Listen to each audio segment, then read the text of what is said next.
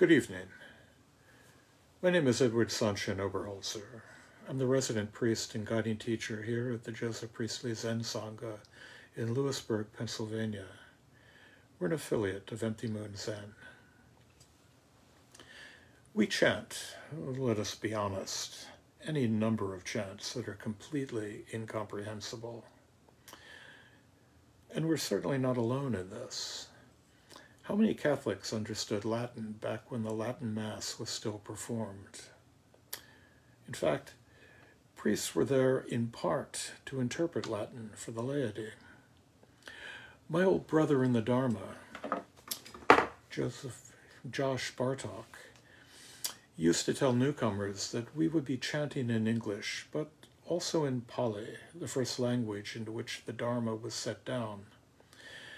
In some incomprehensible syllables that are an English transliteration of what is chanted in Japan, which is a Japanese transliteration of what is chanted in China, which was in turn a Chinese transliteration of what was chanted in Sanskrit in India. And no one aside from D.T. Suzuki, seemed to have any idea what that meaning was. And finally, we chant in Sino-Japanese, a kind of Japanese pronunciation of Chinese characters which modern-day Japanese generally understand no more than modern-day Americans can comfortably read Shakespeare, much less Chaucer. So here is that Sino-Japanese chant, a chant to invoke the Bodhisattva of compassion, Avalokiteshvara, or as he or she is known in Japan, Kanzeon. The chant is brief, so brief that we repeat it three times, and yet never use it up. The full title is Enme Juku Kanongyo, and the text all ten verses goes Kanzeon Namu Butsu Yo Butsu In Yo Butsu En Bu Po So En Jo Raku Ga Jo Cho Nen Kanzeon Bo Nen Kanzeon Nen Nen Jushin Ki Nen Nen Furi Shin. So, just what are we chanting? The title, Enme Juku Kanongyo, tells us that this is the 10-verse life-affirming Kanon Sutra. Maezumi Roshi translate the sutra as, or translated the sutra as, Kanzeon, at one with the Buddha, related to all Buddhas in cause and effect, and to Buddha, Dharma, and Sangha, joyful, pure, eternal being. Morning mind is Kanzeon. Evening mind is Kanzeon. This very moment arises from mind. This very moment is not separate from mind. A serviceable translation, if unchantable. The Boundless Way liturgy book gives this as the translation. Absorbing world sounds awakens a Buddha right here. This Buddha, the source of compassion. This Buddha receives only compassion. Buddha, Dharma, Sangha, just compassion. Thus the pure heart always rejoices. In the light recall this. In the dark recall this. Moment after moment the true heart arises. Time after time there is nothing but this. Now at Empty Moon, we simply chant the Sino-Japanese. Why? Well, perhaps obstinance, perhaps in honor of our Japanese heritage.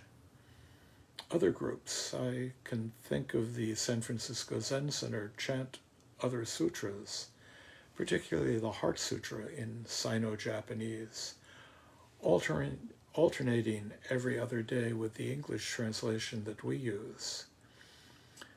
Chanting an extended piece in a language not one of us knows is, for me, a bridge too far, particularly when the meaning is the point.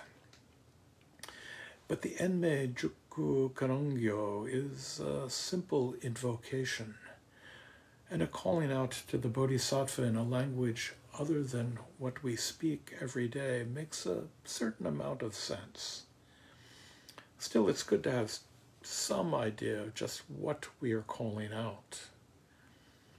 Sojun Weitsman, late of the Berkeley Zen Center, has said that the title of the chant, the Enme Juku Kanongyo, translates as endless dimension, ten phrases, Avalokiteshvara Sutra, and emphasizes that endless dimension refers not only to time stretching back to the beginningless past and forward to the unknow- unknowable future, but to the endless temporal dimension of this very moment.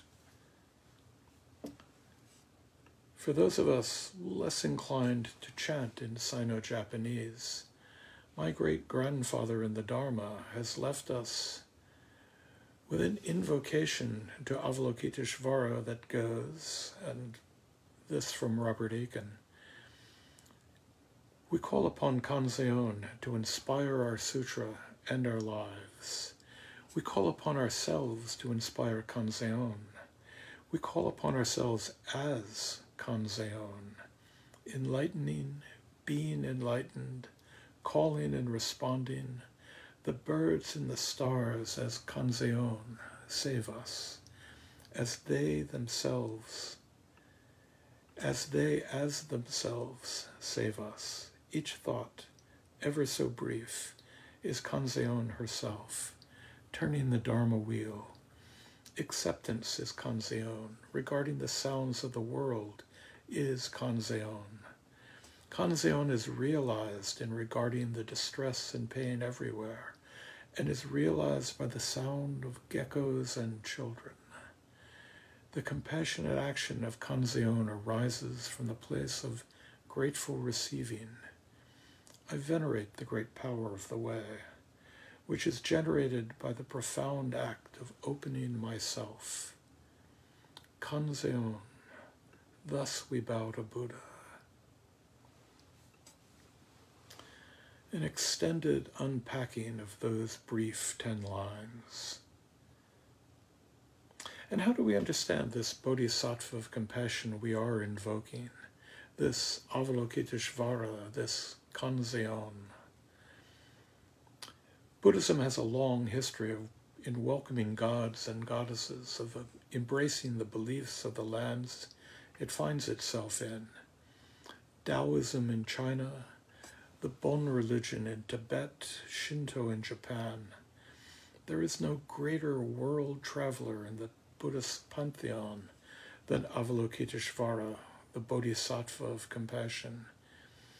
He, she who hears the cries of the world. In China, the goddess Kuan Yin was recruited to fill her role. In Japan, the Bodhisattva becomes Kanzeon, but Buddhism is a restless practice for all its stillness, and it's now acquired a toehold here in the West. On the East Ocean Boulevard in Long Beach, California, with a stunning view of the Pacific Ocean, is a Vietnamese Buddhist monastery housed in the buildings and grounds the monks had purchased from Catholic nuns whose convent had fallen into bankruptcy.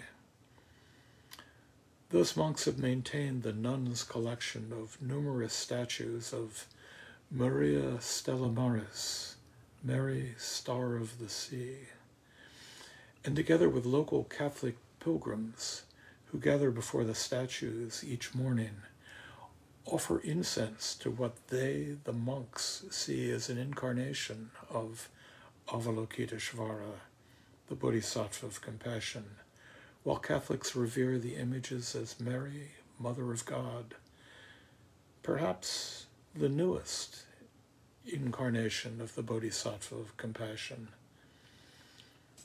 the very image of the Pietà, Mary on the half shell, Kuan Yin, the Chinese goddess and bodhisattva, pledged like a mother to save us all. The Indian Avalokiteshvara, male in India, female as he or she, makes it across the Himalayas. Mothers all, female and male. Motherhood reaches out and embraces and asks no questions. When I was in law school 40 years ago, I used to take long walks late at night through our Cambridge working class neighborhood. One very cold winter night, nearing midnight as I was walking home, I passed by a classic Cambridge triple decker. When the front door opened and an elderly woman dressed in a housecoat and slippers came out, walked down the steps and across the small front yard to that ubiquitous blue and white statue of the Virgin Mary on the half shell. Mary, star of the sea. She stood quietly in front of Mary hands clasped together, seeming to listen intently. But you know, I, I think now this woman's devotion cuts deeper than mere Catholic theology. There was a devotion to something more fundamental, an opening to something deeper, more physical. I used to be amused, and in truth, I'm still amused again, perhaps uncharitably by Christianity's disavowal of what looks suspiciously like polytheism, and in particular, with Catholicism's more expansive polytheism going beyond the Trinity with its veneration of the Virgin Mary. But perhaps they're on to something. Perhaps that elderly woman was on to something. Perhaps those Buddhist monks and Catholic pilgrims in Long Beach are on to something. And here lies an opening, and for me, a path forward. The Shushogi, a summary of Eihei Dogen's teachings, often chanted in Soto Zen temples, tells us do not, being compelled by fear, vainly take refuge in mountain spirits or ghosts, or in the shrines of non Buddhists. Mary on the half shell, Mary, star of the sea. Here is the bodhisattva of compassion in advance of the Buddha Dharma, and acknowledged not in fear, but in veneration, a foothold in the new world. And who is to say that that elderly Cambridge woman was not taking refuge in Avalokiteshvara, the Bodhisattva Mary, the New World incarnation of Guan Yin, just as the pilgrims in Long Beach, Buddhist and Catholic, take refuge in that self-same identical image. My grandmother's best friend, Louise, a woman who became a second grandmother to me, once said, I'm not afraid of dying. I just really like to know how things will turn out. She was 92 and concerned not with herself, but with what fate had in store for her nieces and nephews, for me, for my kids. There was a woman who understood the Bodhisattva way. And Louise has left me with the question how will Buddhism turn out? Things are still fresh here. Whether Buddhism becomes better established is less a question than how it will appear, what form it will take, and for that matter, what form the nation's religious and spiritual life will be changed by its encounter with the Dharma. Whatever the change, and change is, after all, the essence of the Dharma, whatever the change, I'll not pass by another Mary on the half shell, another star of the sea without offering a moment of thanks to the Bodhisattva, a moment of charity in the midst of the uncharitable. Thank you.